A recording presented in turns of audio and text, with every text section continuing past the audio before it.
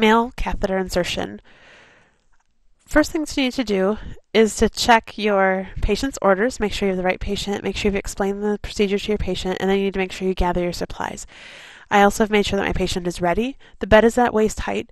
He has his gown pulled up, the blankets pulled down, his legs are out at about a 45 degree angle from each hip, and then I make sure I have my supplies. I have my Foley catheter kit. I have a towel with a washcloth and a clean, clean pair of gloves so that when I'm all done putting in the catheter, I can clean them up. Now, because I'm sitting at my sterile field on the bedside table in front of me, I'm going to put the towel, washcloth, and gloves on the bed so that they're where I want them to be when we're done. I'm going to take out my catheter kit from the packaging. I'm going to throw away the outside packaging. I also have a garbage can at my foot, so you may see me drop some things off the end of the field, and that's where they're going. The first flap always goes away from me. After that, I walk it around to make sure that I don't cross over my sterile field. Now, the first strip that's in here, I'm going to reach over, I'm going to pull it up and out, and I'm going to bring it to my patient, making sure that I know that I can walk around the edges because I have a one inch sterile margin, or contaminated margin, excuse me, and I'm going to bring it and I'm going to slide it under so that I have another little mini sterile field to work with. Now, if I had someone on the other side of the bed, they could reach under his leg over there, um, but because I don't, for demonstration purposes, this is just going to fold right there. Now, I'm going to come back to my sterile field that I have on the bedside table, and the next thing that I see in my kit is my sterile gloves. So I'm going to take those out. I'm going to step next to my kit over there, and I'm going to put on my sterile gloves. Open them up. First glove I grab with the cuff, up and away, slide on, reposition the cuff once if I need to. Second glove, cuff, hitchhike my thumb, up and away, pull it on, no repositioning.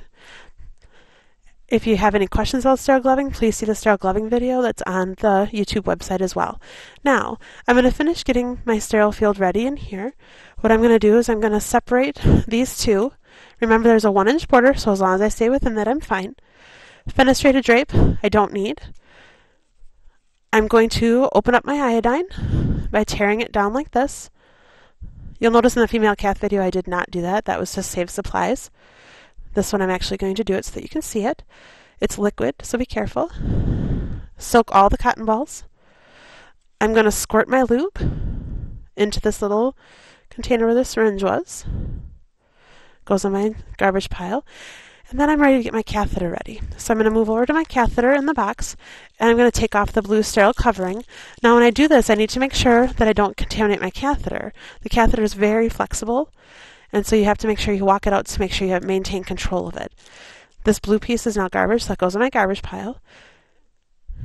Once I have that ready, I can put this back in. I don't want it flopping around. I want it to be safe. The last thing I need to do is I need to take my sterile water syringe and I need to make sure that I connect it to my pigtail here, which is the balloon insertion port right there. I do not have to test my balloon because this is a Bard catheter, so I don't test my balloon. Now I'm going to put these back together so that I can move the sterile field to the bed. When you move your sterile field, you come in from the sides with your fingers, making sure you maintain that one inch border, and I'm going to slowly bring it over and place it down between his legs on the bed. Now, it looks exactly like the female cath insertion that you saw before. You separate the two containers, and when I do my last survey to make sure everything's correct, lube, betadine, and catheter ready. Now I'm going to contaminate my hand by putting my hand on his symphysis pubis.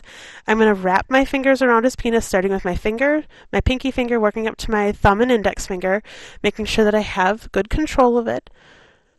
I'm going to start with the betadine. It might be helpful if you tell your patient it's going to be a little bit cold because it's room temperature. And so I grab it with my sterile forceps and I start at the middle and do concentric rings around to cover the whole tip of the glans penis. Now I when I bring the cotton ball around my sterile field so I don't contaminate it, and it goes in my garbage pile, which is still on my bedside table, and I grab the next betadine cotton swab, go all the way around, make sure I don't cross over my sterile field, and you do at least three cotton balls. And I have my third one, back and forth and around. And there we go. Next, I'm going to grab my catheter out of the box. I'm going to dip it in my lube, about two inches up. Make sure that I come, I'm going to find the urethral opening. I'm going to rotate it a little bit in. I make sure that I don't touch the tip of his penis with my right hand, which is still sterile, and I'm going to insert it about six to seven inches. I see urine coming down my catheter. I'm going to my thumb and first finger off, like that, to make sure that I have a little bit of room in case I need to reposition the catheter. I'm going to grab my syringe with sterile water. I'm going to begin to inflate. If I meet any resistance or my patient complains of any pain, I stop, look what I'm doing, and reposition. He does not complain of any pain. I'm going to continue to insert the water. I fill the balloon up with the 10 cc's of sterile water.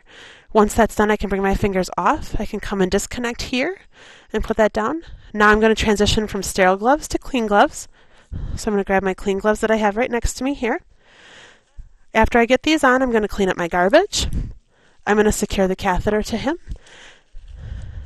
And then I'm going to clean him off. So first I clean up my garbage. Take the catheter out of here take that box, that sterile drape.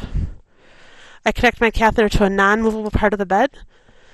This is another option for a cath secure. It's the bed clip. So in case I don't have any tape, I can bring that right around and secure it to his bed like this.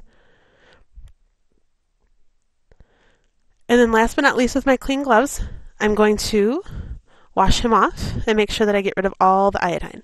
So I take my washcloth, which was wrapped up in my towel, and I go around the tip of his penis making sure that I reposition. I start at the base and I come off. I do that again. And then I make sure that I dry them off. My clean gloves come off. And then I make sure that my patient is covered.